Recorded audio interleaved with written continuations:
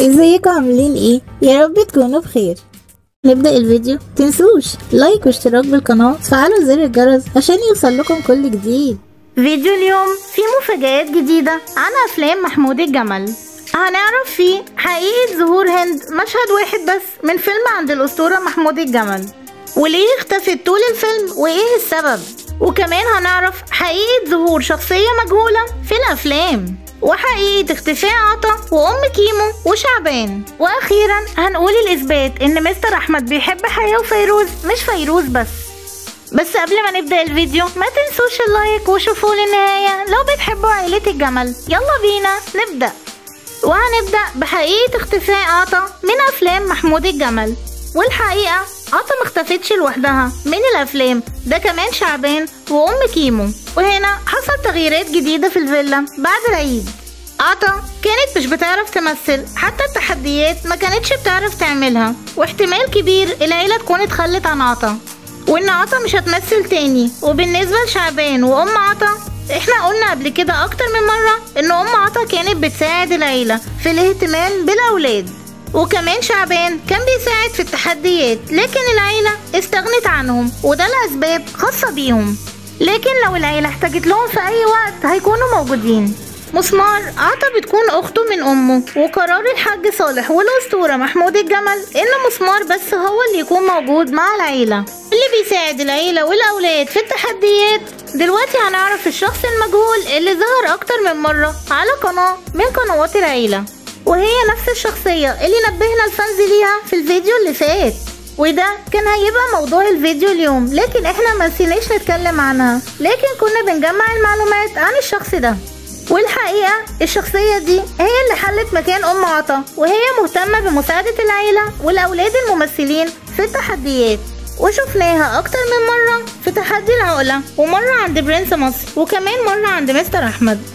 الشخصية دي اسمها سمر وهي مساعدة للعيلة. سمر ما عندهاش مشكلة إنها تظهر على اليوتيوب لأنها ما كانتش بتجري لما الكاميرا تيجي عليها.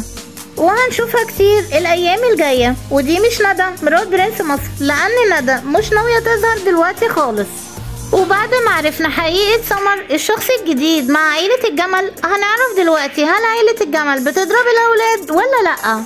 وهنا نحب نقول إن العيلة والأسطورة محمود الجمل بيخافوا على الأولاد جدا بما فيهم مسمار. وحقيقة ضرب الأسطورة لمسمار كان ضرب غير مؤذي بدليل إن مسمار كان بيضحك وما كانش زعلان. زي ما شفنا اليوم عند ندى وأحمد أحمد كان بيقوم بدور المدرس اللي بيضرب الأولاد وده دور تمثيل مش أكتر. دلوقتي وهنعرف حالا إثبات إن مستر أحمد بيحب حياة وفيروز مش فيروز بس. فانز كتير. مصرين إن مستر أحمد بيحب فيروز أكتر من حياة والإثبات على عكس كده. مستر أحمد في vlog اليوم عند الأميرة فيروز. حياة بنته تاهت وندى كانت مطمنة إنها بتلعب لكن الحقيقة إنها تاهت في ال piscine. وأحمد كان قلقان عليها جدا وهو اللي لقاها وما سابهاش خالص في ال piscine لأنها كانت خايفة جدا.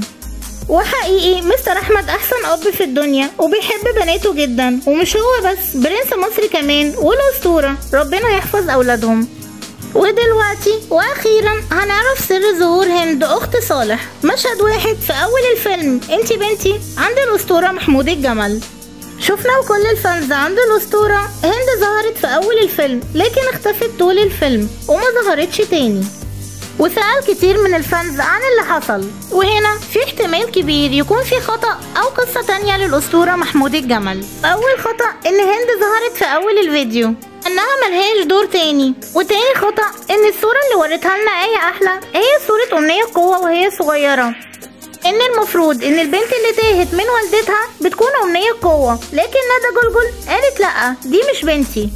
عشان بنتي عندها وحمة في كتفها. والسؤال هنا تفتكروا مين البنت اللي ضاعت من ندى جلجل؟ هند ولا أمنية قوة؟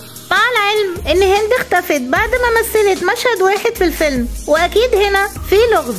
عشان هيكون في باقي للقصة عند الأسطورة محمود الجمل هنشوفه الأيام الجاية بس بشكل تاني. وهنا وصلنا لآخر الفيديو بس ما انتهاش.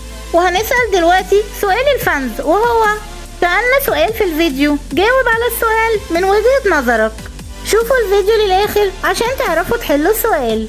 وكملوا الفيديو معانا عشان هنعرض أسماء الفائزين في تحدي سؤال الفانز الفيديو اللي فات. وهنا خلص الفيديو. ما تنسوناش في اللايك والاشتراك وتفعيل زر الجرس عشان يوصل لكم كل جديد. أشوفكم الفيديو الجاي. بحبكم جدا. مع السلامة.